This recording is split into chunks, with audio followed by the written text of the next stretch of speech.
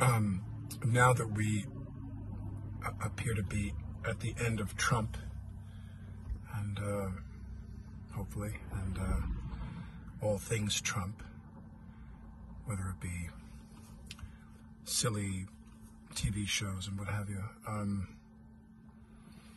um, I didn't think it would be necessary to say this, but uh, I guess in the world we live in now, you can't rule out anything in terms of the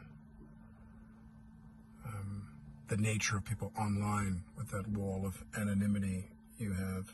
Um, uh, when I held up the sign that said "You're welcome" on SNL, that was a joke. I mean, I, I thought anybody um, would understand that, but I see this interesting number of people, these writers, uh, and I use that word um, generously. These writers online who say, you know, "Oh God, you know, Alec Baldwin is as unhinged as Trump himself." I mean, that tired thing about oh, he's been playing Trump so long that maybe he is maybe he's been like Trump all along and we never noticed that. When I said you're welcome on the show, that was a joke. I mean, the, the notion that I would assume that uh, anything I did had anything to do with the result of the election is ridiculous. Um, and, and I thought people knew that, but apparently some people know it and ignore it, which is kind of malicious when you think about it, or they just don't know it because they don't really have any experience. You know, like a lot of these people who are writing now are very young, and all they have is their youth. You know, they don't have any uh, uh, resume or they don't have any experience, and they and everything is about. Um, it's so much easier to dislike things. It's so much easier to c- criticize things because if you say you like something, you open yourself up for the same criticism. We've heard that before, but. Uh, um, I do believe that with the numbers the show had, nothing to do with me, but the show itself, update, you know, Colin and Che uh, um, far more effectively than than I could ever achieve. The show over the four years was a part of a chorus, if you will. Um, every week for the news programs, it was every day for the Jake Tappers of the world and the and the other broadcasters on TV who confronted Trump about his uh, um, uh, lack of consistency, to put it mildly. Uh, the um, for people in the media, they did this on a daily basis, and we did this most weekends, where whatever Trump would say, we were there to say bullshit, bullshit, bullshit, bullshit. Whatever he said, bullshit. Trump talks bullshit. bullshit. That's that's all we did, and the audience was huge. In the beginning, the audience was in the tens of millions of people online. I mean, they had like 22 million, 24 million hits on YouTube and so forth. The success of the way the show is marketed, this has nothing to do with me or anything I did. Uh, uh, the success of the way the show is marketed now, they have a very, very big audience. And then when the show is aired on Saturday, uh, including the live feed that goes out at 8.30 on the West Coast, the numbers for the show have been very, very good, comparatively speaking.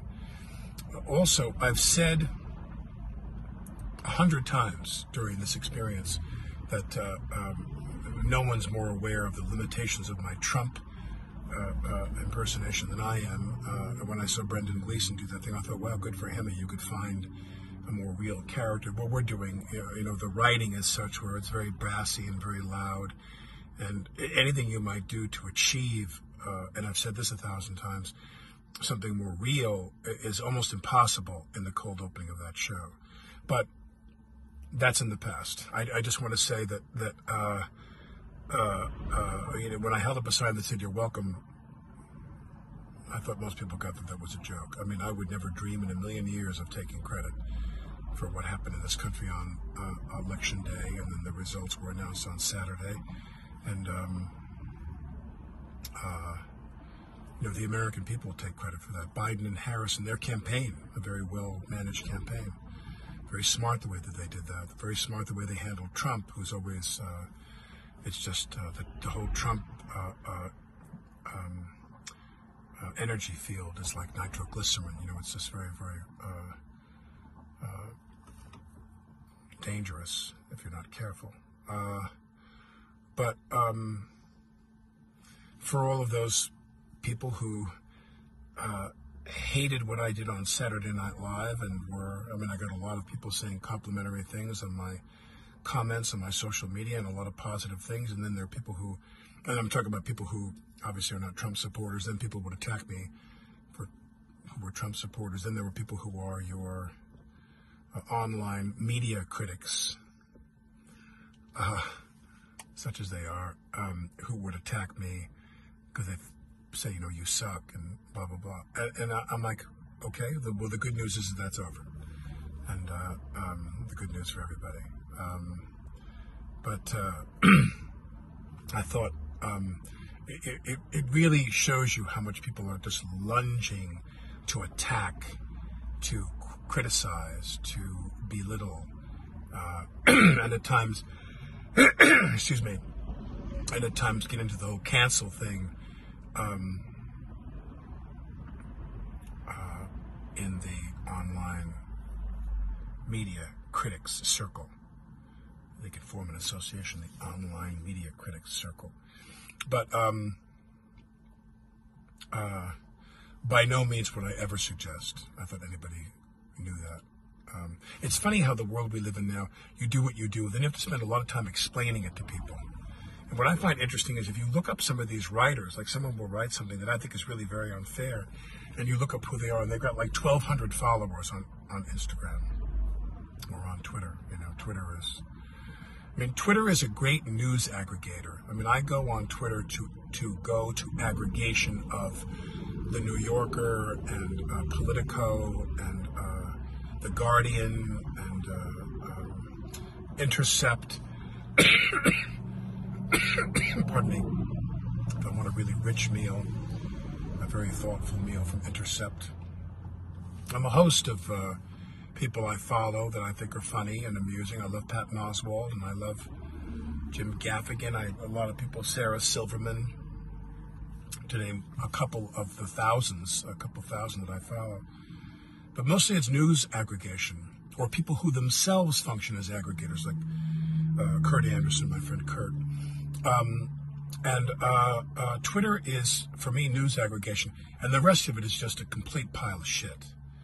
Everybody just going on and on, myself included. I mean, I really have pulled back from Twitter um, a lot because just Twitter is just this um, loony bin, you know, right and left. Um, but uh, in the forward thinking part of uh, this message, I'm just grateful that everything turned out the way it did. I was in Washington Square, masked and distanced from a friend of mine, taking a little walk. We had some things to discuss. I hadn't seen him in a while. We were walking, and as we were leaving the park, we were leaving that north eastern corner going up University Place, and the whole park just erupted and started shouting and screaming. And I went up to my apartment and I sat and I listened to the cheering outside, and I cried. I cried. I was really, really very.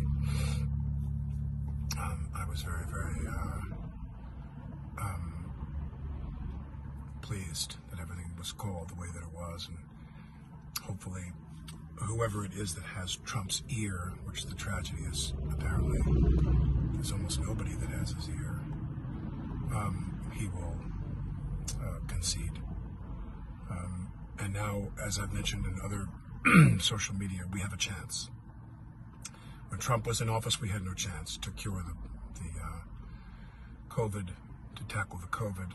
Um, it's ironic that the highest numbers posted were over the weekend.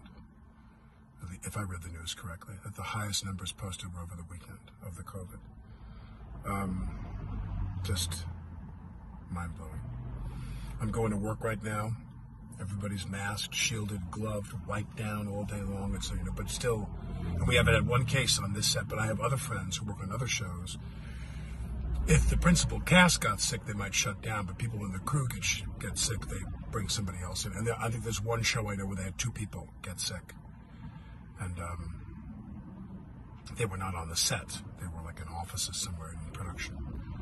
And or writers or something that were not around the principal cast. So um, a show that I'm not on, a friend told me about that. So, uh, um, but now with Biden and Harris there, we have. Uh, we have a chance to beat this thing, which is just ruining everybody's lives. My children, our children, Hilaria and I, they're very lucky to have each other, and they've formed these bonds that are the byproduct of this crazy life we're living. But um,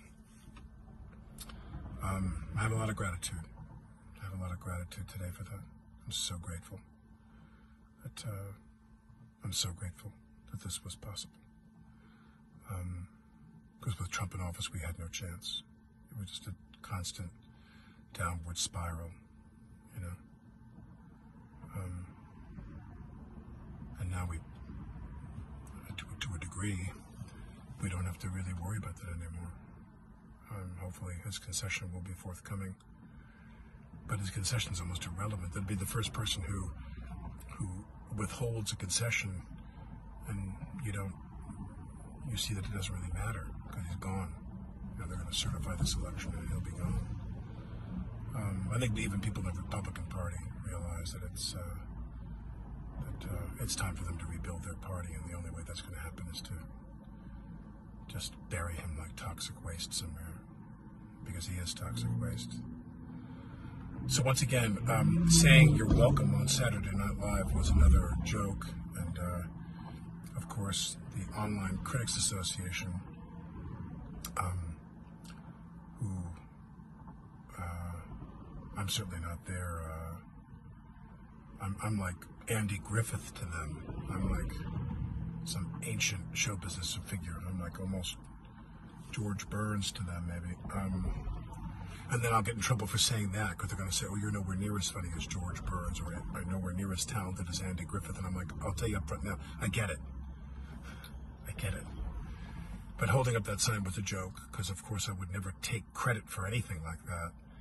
Um, but I do believe that the show itself, in the sum total, Kate McKinnon, who I love to the day I die, God, who's more talented than Kate? Nobody. Nobody. Whether it's Hillary or Giuliani or uh, uh, Kellyanne Conway, all of the roles she played, Beck as Putin and Pence, we had fun. And I do believe we were a part of that metronomic uh, uh, response of bullshit to everything he said. But uh, uh, I, for one, am, am, not implying that I'm taking any credit for anything. Um, like someone wrote online, they said it was prop comedy. I'm like, okay, let's say that, that it was prop comedy. We have to be very, very careful uh, how much responsibility we pour onto Biden and Harris early on. Everybody's in a lot of pain. They want to get back to work. They want to get their kids back to school. Uh, a vaccine, a competent vaccine, a safe vaccine, uh, uh, therapeutics, whether it's these sprays they're talking about, whatever, that will be hopefully the first thing that uh, is uh, uh, job one for these people. And then after that, to rebuild the economy, to rebuild the country, to rebuild everything that's just been smashed to pieces the last four years. Um, that's going to take time. That's going to take time. And I don't think we should lay too much of a burden on them now and too much of an expectation on them now. Of course, Republicans are going to say that uh, uh you know all these problems, that uh, other problems that will start to emerge in the coming year or two. They're going to say, "Oh, look what Biden you know did. Look, look what's happening on Biden's watch," and, and never acknowledge that uh, you know Trump treated the COVID like it was. Uh, um, like it was herpes, you know, and he wanted you to just keep on dating, and uh, um, that he wanted you to just ignore whatever the risk was to other people, not only about yourself, the risk that you presented to other people. But we have to be patient, and we have to uh, dial down our expectations of Biden and Harris for the time being till they can get the COVID taken care of. I think that that's the first responsibility, obviously and then we can start to um, maybe see the country bounce back to some degree. I hope so. I hope so. This country's such a mess. It's such a disaster. Four years of Trump. It's unbelievable. Everybody be safe, be well.